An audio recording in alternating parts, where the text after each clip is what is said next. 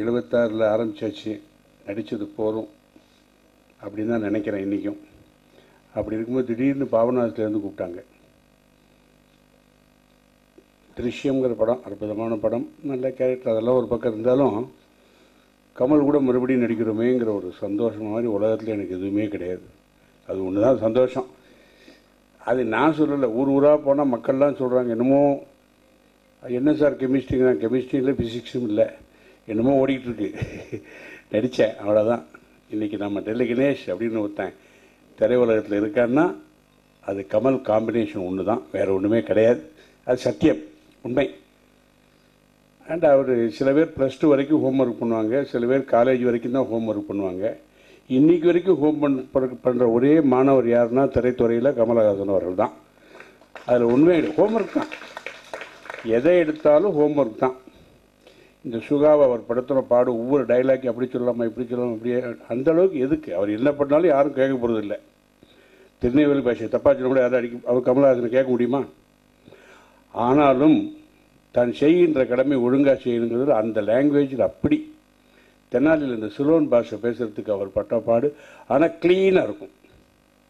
இப்படி தான் இருக்கணுங்கிற மாதிரி இருக்கும். அந்த ஹோம்ஒர்க் பண்ணணுங்கிற ஒரு எண்ணம் வரணும்னா அது அவரை ஃபாலோ பண்ண தான் வரும். இல்லைன்னா வராது. சும்மா வந்தோம் நடித்தோம் ஏதோ வீடு கட்டணும் கல்யாண மண்டபம் கட்டணும் கோயில் கட்டணும் கும்மாளம்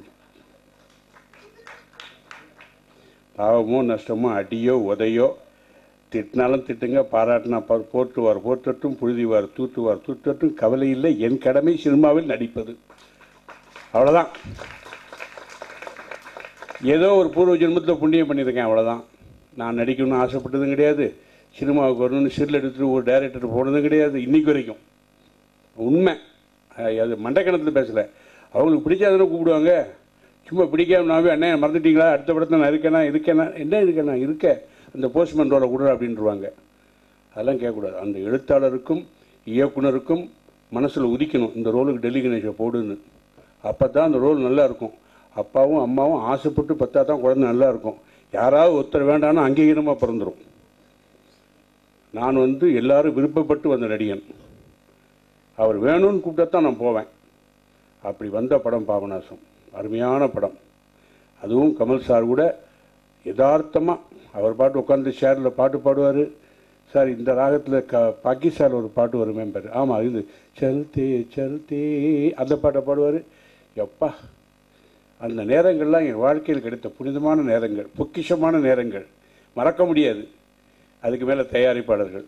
பாலாஜி தயாரிப்பாளி நடிச்சாச்சு சுஜாதா ஃபிலிம்ஸில் இப்போ சுரேஷ் பாலாஜி ஸ்ரீபிரியா.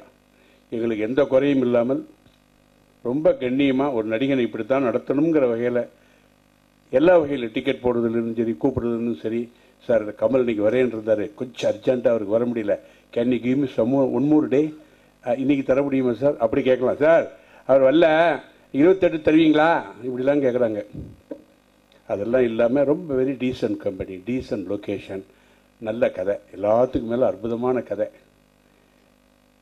ஒவ்வொரு அவங்கவுங்களுக்கு அவங்கவுங்க பொன் குழந்தை மேலே எவ்வளோ பிரியம் இருக்குங்கிறது இந்த படத்தை பார்த்தா தெரியும்.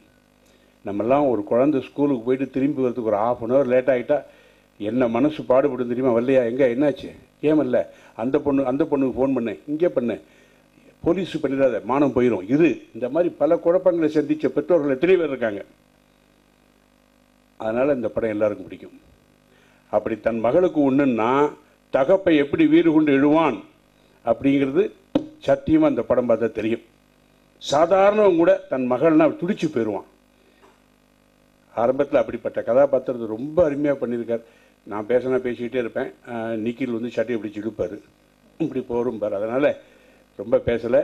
நான் புண்ணியம் செய்தவன். இந்த படத்தில் நடித்ததற்காக என்று மட்டும் கூறிக்கொண்டு வாழ்நாளிலே கமல் கூட நடித்த அத்தனை அனுபவங்களும் எனக்கு புண்ணியங்கள் என்று சொல்லி விடைபெறுகிறேன். வணக்கம் நன்றி.